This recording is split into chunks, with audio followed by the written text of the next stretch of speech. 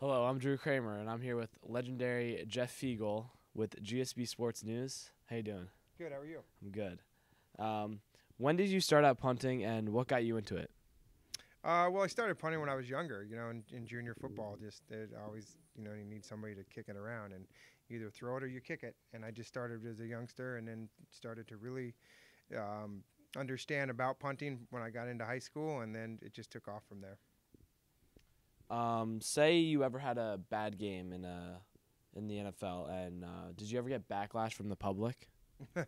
Uh, yeah, a couple times. You know that you have to understand that you know as long as you don't read your press clippings, you'll be okay. Um, but not everybody's perfect. Everybody has bad games.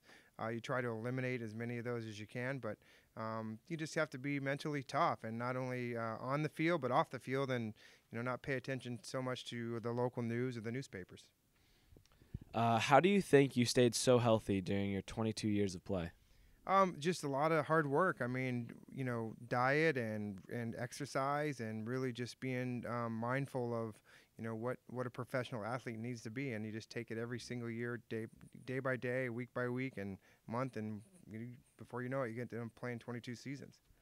Uh, last question: Did you ever get to run a fake punt? Uh, I had to. Yeah, we ran a few. I wasn't very successful in any of them, but uh, the fact that I got to do it was kind of fun. But there was also the other ones where there really it wasn't a planned fake punt where it was a bad snap and I had to, you know, become a football player. I didn't like that too much. All right, thank you. You're welcome. This is GSB Sports News. See you tomorrow.